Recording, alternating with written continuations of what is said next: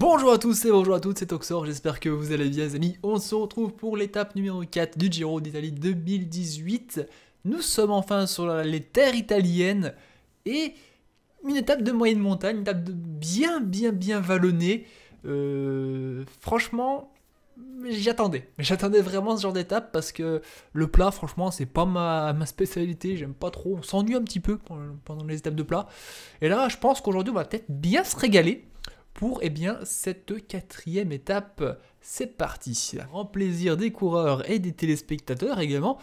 Mais également des gens qui sont au bord de la route, hein, parce que c'est quand même plus agréable de suivre une course de cyclisme au bord d'une route quand on entend des fois 3-4 heures les coureurs avant qu'ils arrivent.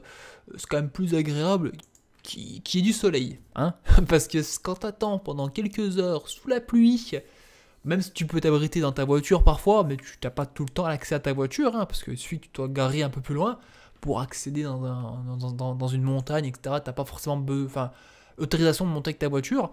Eh ben, euh, faut avouer que c'est quand même plus sympathique quand il fait beau. Donc, 4 cols répertoriés aujourd'hui, 3 euh, cols, pardon, 2 euh, cols. je passe de 4 à 2, c'est énorme. 2 cols répertoriés aujourd'hui, 2 sprints intermédiaires mais il y a quand même plus de cols que ça. Mine de rien, hein, aujourd'hui, on va en gravir quelques-uns pour le plaisir de tout le monde, mais également pour votre plaisir et pour le malheur des, coureurs. Hein. parce que c'est vrai que c'est pas forcément. Euh, c'est pas forcément ouf hein, d'avoir tout le temps des, côtes. Euh, des fois, tu as envie d'en avoir un peu moins quand tu es coureur cycliste. Alors, Arou est bien protégé. Ça sort à l'avant de la course. Moi, je suis en train de me tâter. Est-ce que aujourd'hui on va chercher une victoire avec, euh, avec Ulissi On verra. On retrouve 3, 4 euh, hommes. J'ai beaucoup de mal avec les chiffres aujourd'hui, entre 3, 4, 2, enfin voilà. 4 hommes, pardon, en tête. Euh, Frapporti, le coureur. Il me semble que c'est c'est quoi? C'est Androni, ça, comme équipe? C'est quoi? Je vois pas trop. Oh, mes yeux me font. Oui, c'est Androni Giocatelli. Euh, Irizar de la Trek Sega Frigo. Euh, Vliegen de la BMC. Et King de la Dimension Data. Si, un italien. Un seul italien. On retrouve euh, des coureurs différents des deux étapes en ligne disputées euh, en Israël. Ça change un petit peu. Allez, ça va se battre là pour euh, les quelques points de la montagne. Qui va passer en tête, les amis On va savoir ça dans, moins d'un kilomètre. Est-ce que c'est le Belge qui passera en tête? Est-ce que c'est l'Italien? Eh bien, c'est le Belge Ligen qui passe en tête. Une chute Chute dans le peloton Chute à l'arrière du peloton. Deux coureurs italiens au sol. Ça repart pour tout le monde. La succession d'ascensions, là, de petites côtes, etc., fait que ça casse un petit peu de partout dans le peloton. Hein. Regardez-moi ça, on retrouve des coureurs euh, parpillés. Euh, il y a une cassure même avec le peloton, ça va recoller, hein, rassurez-vous, hein. il n'y a pas d'inquiétude avec ça, c'est quasiment sûr que ça va recoller.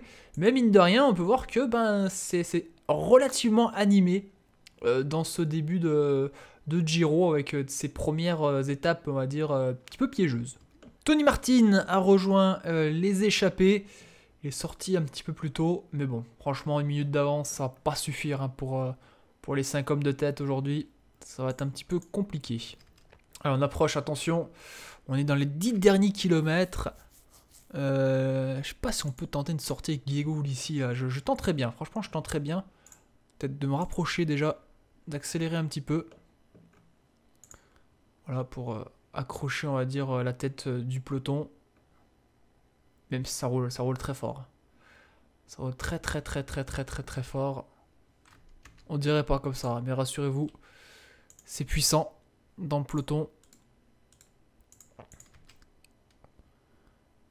Je vais avoir beaucoup de mal pour sortir avec ici.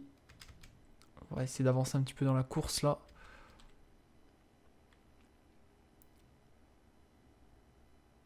Euh, il y a des cassures, à hein, mine de rien.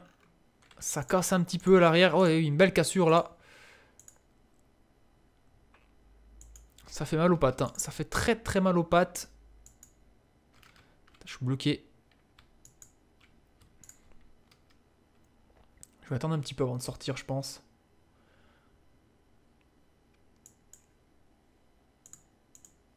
Je vais attendre encore un petit peu. 38 coureurs. 38 hein. coureurs. Euh, le maillot rose, tout le monde est là, je pense. Hein. tous les grands favoris sont là, bien sûr. pas avoir de piégé à l'arrière du peloton, je ne pense pas. Est-ce que Thibaut Pinot, non? J'ai pas vu, pas vu Pinot à l'avant, mais je pense qu'il doit y être. Euh, ouais, Pinot est là.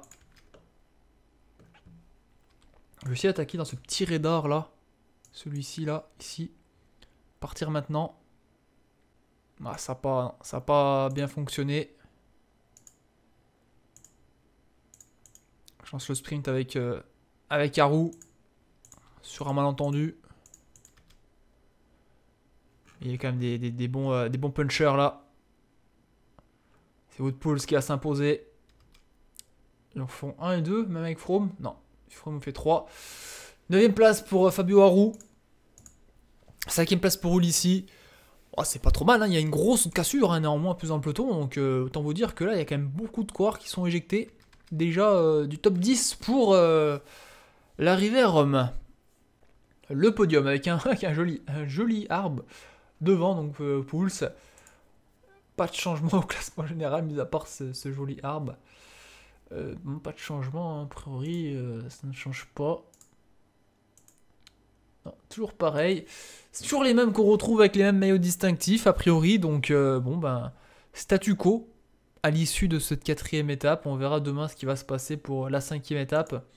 bon, c'est toujours. ça va être mouvementé demain parce que ça va quand même plutôt bouger. 152 km, c'est court. moyenne montagne également. Ça va peut-être se décanter euh, d'ici l'étape numéro 6. Même très certainement. Je vous fais plein de gros bisous les amis, on se retrouve eh bien demain pour la suite du Giro d'Italia. En attendant, n'hésitez pas à mettre un petit pouce bleu sur la vidéo, portez-vous bien, bye bye tout le monde, ciao ciao